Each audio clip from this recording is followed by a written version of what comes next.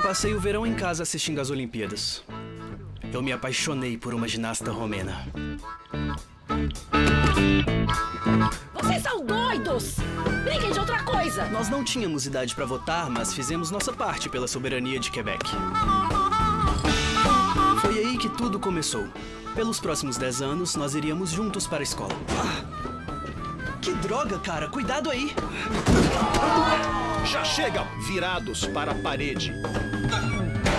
O que é isso? Agora, silêncio! A partir daquele momento, éramos três: Louis, Dan e Eric. Para sempre. Digamos que eu não tinha para onde ir. São 7 gramas que podemos vender a 15 pratas. A gente vai negociar? Show! Querem algo mais? Eu tenho LSD. Muito. Em menos de um ano, nós controlamos uma escola com 3 mil estudantes. O que você tá fazendo aqui? Tá fumando? Você não é meu pai? Você tem razão. Eu não queria criar um frouxo igual você. Éramos moleques de 15 anos. Vivendo o sonho. As coisas estavam muito boas. Talvez boas até demais. Se a mãe ou o pai descobrirem isso, vai acabar com eles. E se você machucar eles, vai se ver comigo. O que eles estão fazendo aqui? Fala pra eles que você vai sair com a sua namorada. Essa é a última vez que você faz isso.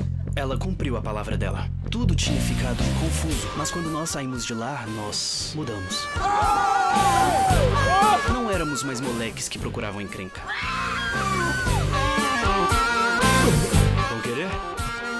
Esse era o começo do fim.